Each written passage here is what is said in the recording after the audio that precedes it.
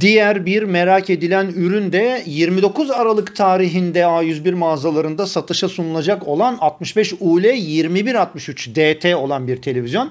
Aslında bu 58 UA 2263'te yaptıkları terbiyesizlikten sonra A101'de satılan ürünleri normalde tanıtmamak, anlatmamak gerekiyor ama e, vatandaşın da yani ekonomik durumu belli.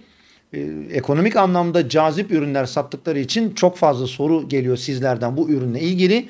Yani elbette ki biz de bunları uygun bir şekilde sizlere anlatmaya, aktarmaya çalışıyoruz. Bir yazı girmişiz inceleriz.com sitemizde ve bu ürün ilginçtir ki 13 Ekim tarihinde 9699 liradan satıştaymış.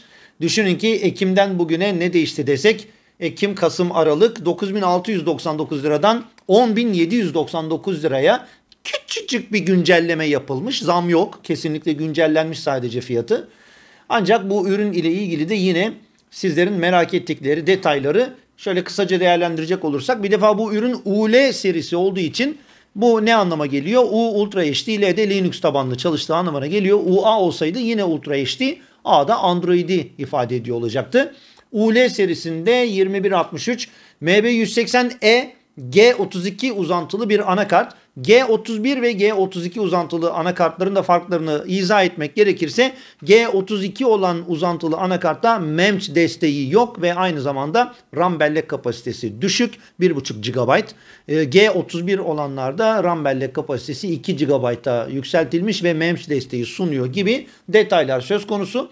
QI menü dediğimiz bildiğiniz standart bir Vestel Smart menüsü var. Üründe 3 HDMI portu, 2 USB portu, Wi-Fi, Wireless Display, HBB TV varken bu üründe Bluetooth bağlantısı yok. Bilginiz olsun. 2x12 Watt speaker box var. Yani herhangi bir partner desteği veya üründe surround ararsanız bulamayacaksınız.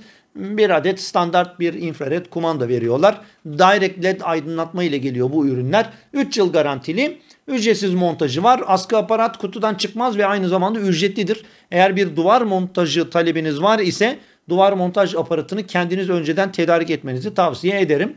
Bu üretimde panel destek unsuru olarak HDR10 ve Dolby Vision sizlere sunulmuş. Fake Refresh Rate değeri olarak ise 2000 Hz Pixelance ve MEMS destekleri ne yazık ki bu üründe bulunmuyor.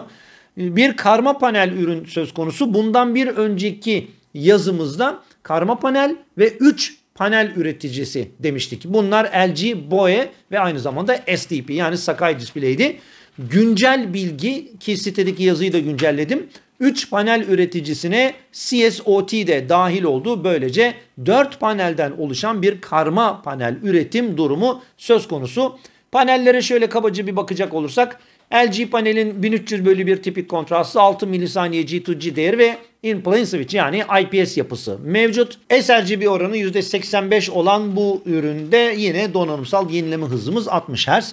Hemen altında Boya Display yine IPS ailesinden ADS tabanlı bir üretim. Bunda tipik kontrast oranı bu sefer 1200 bölü 1. G2G değeri 8 milisaniye. sRGB oranı bunda %98 bilginiz olsun. Hemen altında STP panelin bilgilerini paylaşmışım size.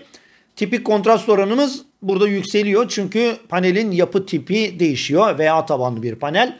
4000 bölü 1 tipik kontrast oranı 8 milisaniye G2G değeri. U ve 2A panelin yapı tipi bu. Vertical alignment dediğimiz VA tabanlı panelin daha geliştirilmiş bir hali oluyor ultraviyole ışınlarını kullandığı için. sRGB oranı %99 olan bu üründe yine diğerleri olduğu gibi yani panellerin tamamı 60 Hz donanımsal yenileme hızına sahip. Sizlere kabaca okuduğum bu bilgilerin detayları inceleriz.com sitemizde zaten mevcut.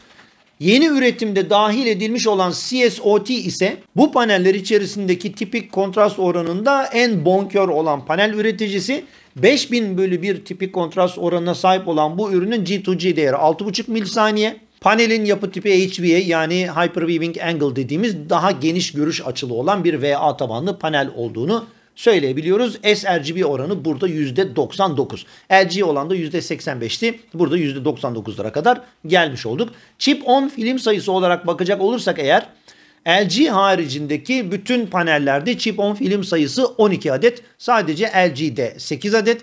Kaldı ki biliyorsunuz Philips'in bazı modellerinde mesela PUS 8507'de 58 inç olan da yine 6 adet chip on film kullanılmış olmasını eleştirdiğim o içerikte sizlere demiştim ki yani LG'nin zaten chip on film sayılarını diğer panel üreticilerinden düşük tuttuğunu biliyoruz ama bazı modeller var ki artık o yani kabul edilir durumda değil diyoruz. 65 inç Ultra HD sınıfında bir panelde 8 adet chip on film kullanılması tartışılır. Kaldı ki bu chip on filmlerde de sadece adete odaklanmamak gerektiğini ben daha önce söylemiştim sizlere.